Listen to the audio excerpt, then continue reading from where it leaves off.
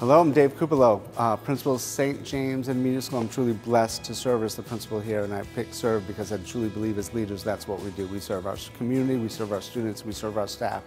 Um, so I've been here since this building was dirt. Um, we opened five years ago, welcomed our first group of students uh, to the school, and it's grades five and six, so it's a unique combination. We're the only fifth and sixth grade school in Horry County. Uh, I'm in my 16th year as a principal but I've been in education, public schools, 26, 27 years, somewhere in there. Um, but I still feel like I'm in year four.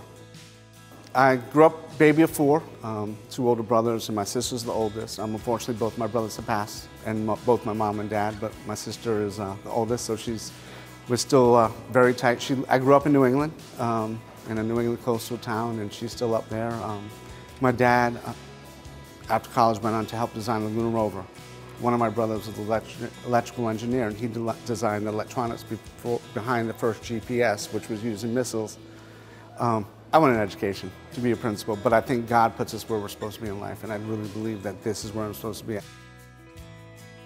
I love to cook. Um, one of my favorite things is sharing my food with people and making them happy that way. Um, each year, uh, I cook Christmas meals for the staff, um, Italian, and then on St. Patrick's Day, I make my uh, corned beef cabbage, carrots, and potatoes for all the staff that want it. Um, you know, and, and so it, cooking is my way to unwind. So we went on a cruise over Thanksgiving break. The cruise ship had a restaurant by Chef Emeril Lagasse on board, and he was on the ship that week. And there was a um, raffle for St. Jude Children's Hospital. So I made a donation, got a ticket, not thinking I would win. Um, and I won a cooking class for an hour and a half with Emeril, Chef Emeril Lagasse. We learned how to make jambalaya and um, duck and chicken gumbo. Um, but it was an awesome experience to, to be able to interact with him. I was in, I was in my other heaven. Um, I joke that when I finish my PhD, I'm going to culinary art school. It might happen. So we, we have our students for a short period of time here, obviously just two academic years, and, and you try to build as tight of a relationship with your students as you can to send them on their way. Um, you know, in St. James High School, Sharks move in one direction, forward.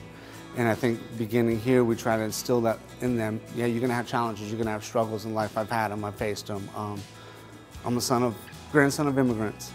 You know, my, my mom had to drop out of school, never told my dad. Been married 50 years, didn't tell my dad she dropped out of school.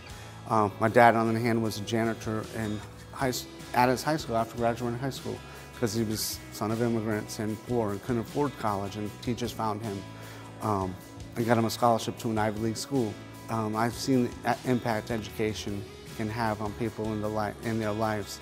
So I think with those students, you know, having heard the stories from my parents and their struggles, um, with our students, keep moving forward. Sharks move in one direction forward, keeps moving forward and, and overcome those challenges. I remember when I met with the staff that were coming to this school, four different schools, um, in parent groups, and I always say schools are built for kids. All kids, capital A, capital L, capital L. All kids, um, you know, and, and my philosophy is we do whatever it takes to um, get kids where they need to be, provide the support they need. If it's social emotional support, that's our job. If it's educational instructional support, that's our job. And that same thing with the staff. My philosophy is, as a leader, um, I'm here for them. It's not about me. Um, this is about kids. I remember standing in dirt, thinking about before the school was built, because there's none like it in the U.S. Couldn't go visit a school like it. What would this be like? And um, five years now, being involved and seeing the vision how we've developed is amazing. You know, when I stop to think of standing somewhere here in dirt, going, what's this? What can this be for kids? We have an amazing staff. Um, this is not easy to work in an environment like this where you can see in the classroom. Um, but they do it every day. They come in and they give 110% for our kids. And, um, you know, I, I hope I give them that 110% back.